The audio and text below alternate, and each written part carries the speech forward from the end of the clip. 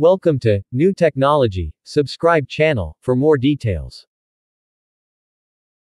NASA is preparing for Artemis I, the launch of its Space Launch System SLS rocket, along with the Orion spacecraft for astronauts, which is set to blast off on August 29.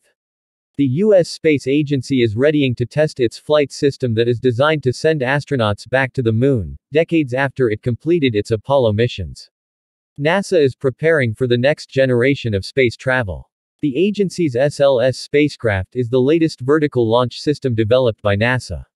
Earlier this week, NASA completed a flight readiness review for the Artemis I launch, ahead of the scheduled test flight on August 29.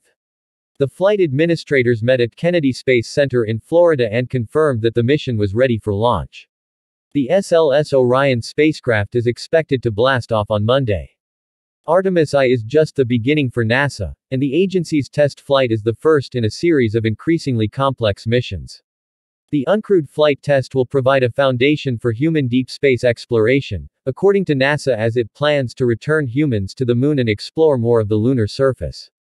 Artemis I will stress test the SLS Orion spacecraft's systems as part of NASA's plans to verify whether the system is ready to take astronauts to the moon, a goal the space agency is aiming to complete by 2025, ahead of its plans to send humans to other planets, including Mars.